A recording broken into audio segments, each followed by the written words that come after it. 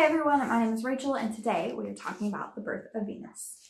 Um, if you are new to my channel, I like to do five minute reviews. I will give one pro, maybe two, one con, and then a little bit of a summary at the beginning and then a suggestion of who would like this book at the end. So to get started, The Birth of Venus is a historical fiction set in, I think it's like 1994, sorry, 1494 it's like 1498 and this is about um, a young girl who is has the desire to be a painter and has the desire to explore the arts and um, connect with god through art and reading and learning and education. But in this society in the 1400s during the renaissance that was not a woman's job. That was a man's job. All of the men were artists and women were supposed to they could admire art but they were supposed to stay home and take care of the home and our protagonists definitely not built for that.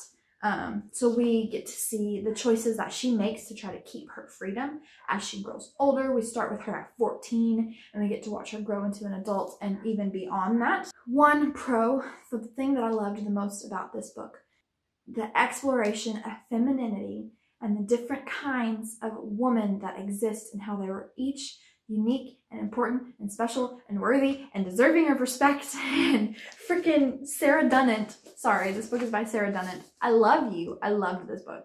I am not a historical fiction junkie. I don't read them often, but when I do, uh, I tend to be hypercritical of the role that women play. And in this book, she explored that and she took it to its nth degree. And we get to see, you know, the strong, rebellious woman who's, ain't she don't need no man. We also get to see um, the quiet, reserved mother who just wants to support her daughter and wants her daughters to succeed in life, and she knows what that looks like and what it what it entails, and so she tries to help them. And then we even have the frivolous woman who, you know, loves her fashion and loves her clothes, but loves her children dearly and will do anything for her children. And just the exploration. Oh, we have we have the best friend. We have the best friend who is supportive and knowledgeable, but not willing to take a bunch of crap from my protagonist. And I loved it so much. The thing I didn't love so much was the romance. Um, there's insta love, um, insta attraction between a man and a woman. And um, there's this heat and this passion and this fire, but they can't explore it because it's this day and age and it's um, it's forbidden love and ugh, ugh, not my favorite trope, of course. Um, but what I appreciated was um, they had their fling, they had their affair, and then they accepted like we can't continue this way. This is not we will not be accepted in society. This will not be good for you. This will not be good for me. We will part ways.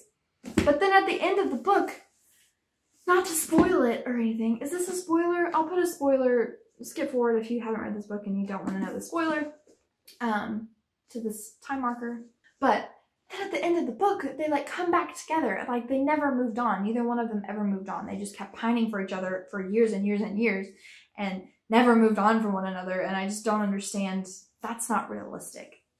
I have never met a person who had a first love and couldn't let go. That's only in movies and only in books. And it's not satisfying to me because he would have moved on especially. She may not have. She because she wasn't interested in moving on. She wasn't interested in finding another love. So that's not her purpose in life was not to find love. He shouldn't have held on to this woman for years and years and years. So that was my con was the insta love and the never moving on trope. That doesn't exist. It doesn't exist. I've never seen it. If you have this kind of love in your life let me know. Um who i think would like this book historical fiction. If you enjoy historical fiction, you will like this book.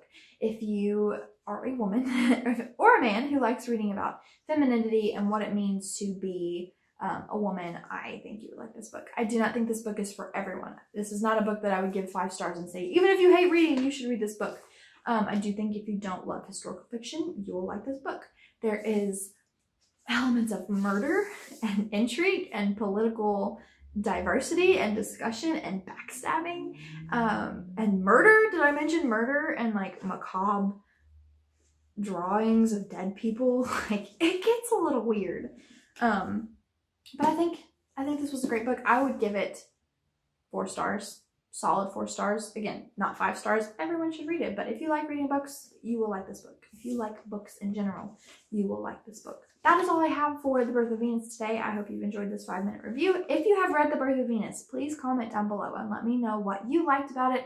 If you enjoyed the insta love and the never giving up on love trope, um, let me know. I may be the only one who didn't like it. If you've read this, let me know. But that's all I have for today. Thank you for watching, and I'll see you in the next five minute review.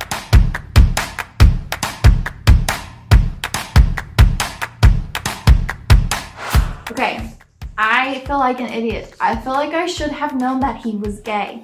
I feel like I should have picked up on the signs. I am such a straight white female that I didn't pick up on it. I thought he was just gonna be like an old man, like, and he felt awkward about marrying a 14 year old. But no, literally, he was gay. And I should have picked up on it. And I'm so mad that I didn't. I really thought he died. They had me. I thought he was dead. I also, just the whole, oh, it was heart wrenching the idea that you don't really love this man, but you're jealous of him, that's a real reality. I appreciated that. Oh my gosh, the prologue. Y'all, do not ever skip the prologue. This prologue, I was like, oh my gosh, we're reading a book about nuns? Like, you, not you, but boring. It sounds boring, right? I've read books about monks and monasteries and like, they're not really that interesting. But the end of this prologue, man, when they like you know, they take the habit off the dead nun's clothes and they see this like hypersexual snake tattoo going all over her sexy parts. Oh man, it was awesome. I was like, what the heck is this book? I have to keep reading. But we got to watch her grow into the kind of woman that would join the nunnery and that would become, you know, this silent, rebellious nun. I'm still figuring it out, booktube. Still trying to figure out what I'm doing.